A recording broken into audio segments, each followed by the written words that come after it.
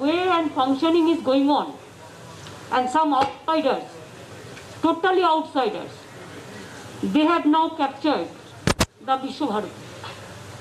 Like Cheri, the ashram is been captured. Like there are that is been captured from some outsiders, of course, team member. They are the ruling party, daily ruling party members. It should not be. BJP বাংলার সাংস্কৃতিক মেরুদণ্ড ভেঙে দিচ্ছে। সুর চড়িয়ে অভিযোগ মমতার। ইদানিং একটা চিন্তাধারা হয়েছে বিজেপির সেটা হচ্ছে যে বাংলার মেরুদণ্ডটাকে সংস্কৃতির মেরুদণ্ডটাকে ভেঙে দাও। বাংলার যে আত্ম অহংকার সেটাকে ভেঙে দাও। ইতিহাসটাকে ভুলিয়ে দাও।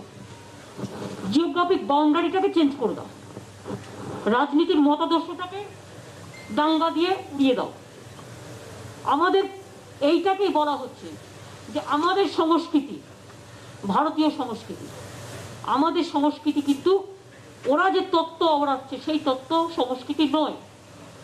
সুতরাং আমরা মনে করি এটা বহিরাগত চিন্তাধারা, কোনো একটা পার্টিকুলার মিশন নিয়ে ভারতবর্ষের যত তথ্য, সংস্কৃতি জায়গাগুলো আছে ইনস্টিটিউশনগুলো আছে, তাদের মেরুদণ্ডকে ভেঙে দেওয়ার জন্য পন্ডিচেরি থেকে শুরু করে, একেবারে জওহরলাল নেহরু ইউনিভার্সিটি থেকে শুরু করে, নালন্দা বিশ্ববিদ্যালয় থেকে শুরু করে, একেবারে জোড়াসাঁকো ঠাকুর জোড়াসাঁকো ঠাকুর বাড়ি তো ভুলেই গেছে। রবীন্দ্রনাথ ঠাকুরের জন্ম নাকি এখানে। সুতরাং এই নানা রকমভাবে বিকৃত তথ্য, অসত্য কুকথ্য, নানা রকম কথা বলে একটা আমাদের বঙ্গ সংস্কৃতিকে অবমাননা করার চেষ্টা চলছে। তথ্য বিকৃতির অভিযোগ তুললেন মুখ্যমন্ত্রী মমতা বন্দ্যোপাধ্যায়। বাংলার সাংস্কৃতিক মেরুদণ্ড ভাঙা হচ্ছে এমনটাই সাফ অভিযোগ বিজেপির বিরুদ্ধে তুললেন। শুধু বাংলার নয়, দেশের বিভিন্ন প্রান্তে যে সাংস্কৃতিক ইতিহাস রয়েছে, যে ইতিহাস রয়েছে, সেটাই বদলে ফেলার চেষ্টা চলছে, নিজেদের মতাদর্শ চাপানোর চেষ্টা চলছে, এমনটাই সাফ অভিযোগ মুখ্যমন্ত্রী মমতা বন্দ্যোপাধ্যায়ের। আজকে বোলপুরে দাঁড়িয়ে বিজেপিকে তোপ দাগলেন তিনি। বিশ্বভারতী কর্তৃপক্ষ বিরুদ্ধেও বকলমে অভিযোগ তুলেছেন এবং বিশ্বভারতী বহিরাগতরা দখল নিয়েছে, সে অভিযোগও তুললেন। সেখান থেকেই তিনি টেনে আনলেন যে কীভাবে বিজেপি তারা বহিরাগত এবং বাংলার সংস্কৃতির সঙ্গে তাদের যোগ নেই, তারা বাংলার সংস্কৃতিকে পাল্টে দেওয়ার চেষ্টা করছে। গেরুয়া শিবিরের বিরুদ্ধে এমনটাই অভিযোগ মুখ্যমন্ত্রী মমতা বন্দ্যোপাধ্যায়, যেটা আগেও অনেকবারই অভিযোগ তুলেছেন তিনি এবং আজকেও সেই একই অভিযোগ তুললেন বঙ্গ সংস্কৃতি এবং প্রবীর রয়েছেন আমাদের সঙ্গে। একটু প্রবীরের সঙ্গে বরঞ্চ কথা বলে নিই আমাদের সঙ্গে।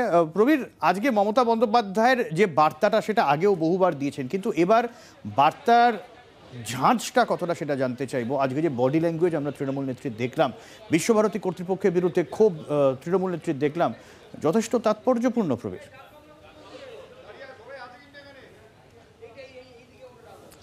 দেখো একটি বিষয়, যেমন আমরা একটু পিছিয়ে যদি যাই, কুড়ি তারিখে অমিত শাহ তিনি এসেছিলেন বোলপুরে, তিনি বিশ্বভারতীতে গেছিলেন, এই একটা বিষয় তোমাকে প্রথমে জানিয়ে রাখি, এবং তারপর বিশ্বভারতী জুড়ে একটা প্রাচীর দেওয়ার কাজ চলছে, সেটা নিয়ে বিতর্ক আছে, সেই একটা বিষয় রয়েছে, এবং অমর্ত্য সেনের বাড়ি, সেই বাড়ি বিতর্ক দেখা দিয়েছে। এত কিছুর মধ্যে মুখ্যমন্ত্রী মমতা বন্দ্যোপাধ্যায় তিনি এসছেন বোলপুরে, আজকে তিনি প্রশাসনিক সভা করেছেন, এবং তারপরে সেখানে তিনি বেরিয়ে সাংবাদিক সম্মেলন করেছেন। প্রতিটি বিষয়ে তিনি উত্তর দিয়েছেন, যেমন বিশ্বভারতীর ক্ষেত্রে বিশ্বভারতী যা করছে সেটা নিন্দনীয় বিশ্বভারতী যা করছে সেটাকে তিনি সমর্থন করেন না।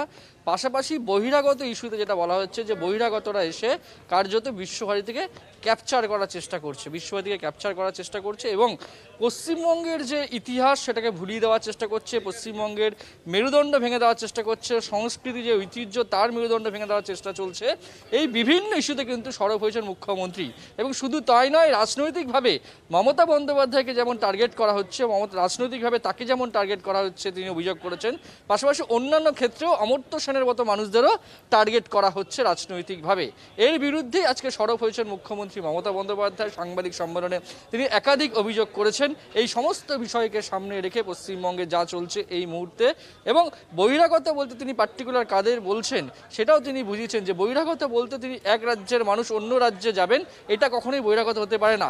কিন্তু কখন, যখন কোনো মিশন নিয়ে কেউ আসছে আসছে যে কোনোভাবে আঘাত করার ক্ষেত্রে ঐতিহ্য ভুলি দেওয়ার ক্ষেত্রে ইতিহাস ভুলি দেওয়ার জন্য মেরুদণ্ডে ভেঙে দেওয়ার জন্য এই পার্টিকুলার বিভিন্ন মিশন নিয়ে আসছেন যখন তাদের ক্ষেত্রেই বহিরাগত শব্দটা সাজে বলে তিনি অনেক ধন্যবাদ প্রবীর।